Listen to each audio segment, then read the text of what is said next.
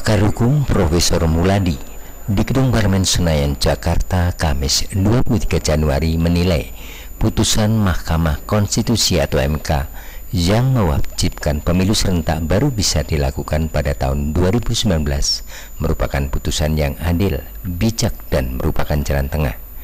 Pasalnya, bila Mahkamah Konstitusi memutuskan pemilu serentak dilaksanakan 2014, bisa saja muncul kekacauan karena semua pihak, baik penyelenggara maupun pesertanya, tidak siap. Menurut Profesor Muladi, putusan MK terkait pemilu juga memenuhi syarat konstitusi. Sebenarnya sudah lama diputuskan begitu. Itu adalah jalan tengah yang elegan.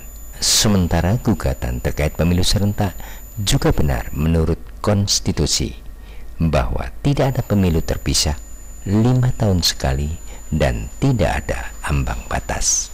Itu saya kira jalan tengah yang sangat elegan.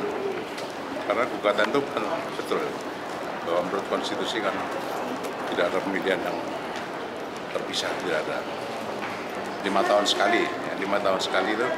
Yang kedua, diajukan oleh partai-partai, tidak ada empat threshold. Jadi dengan demikian tidak ada threshold lagi. Diajukan oleh partai-partai, dan akan berlaku. Tapi tahun 2019 ya. Jadi persiapan cuti undang-undang pemilu yang sekarang ada yang pertengahan konstitusi.